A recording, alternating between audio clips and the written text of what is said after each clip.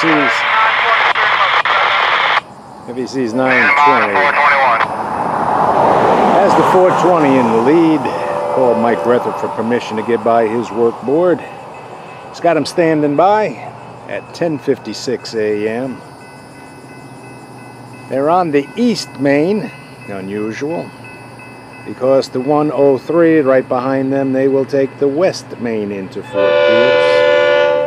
Dispatcher already talking to AFW1. They would like to come out the three switch.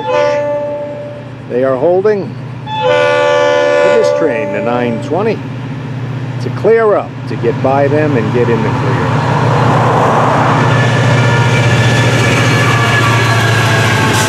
Thank you, boys. Thank you, David. Still got that lumber beam. Now the empty. Two tankers went off this the train. There's two tankers there. The three tankers. Got them coupled up.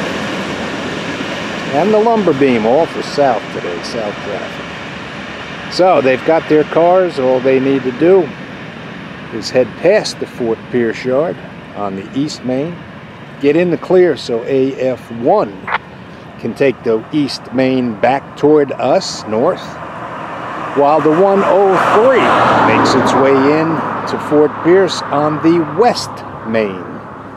Ah, time now. 920. 920 420 after this pass, my ship stopped above it.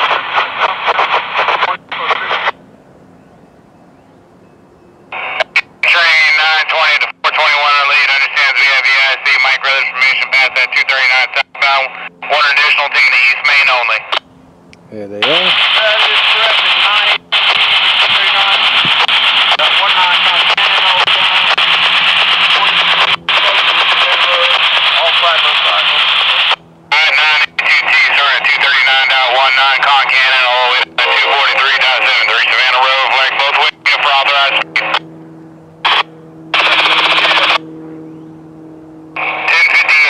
1058, 1058. 1058, the official time of all that.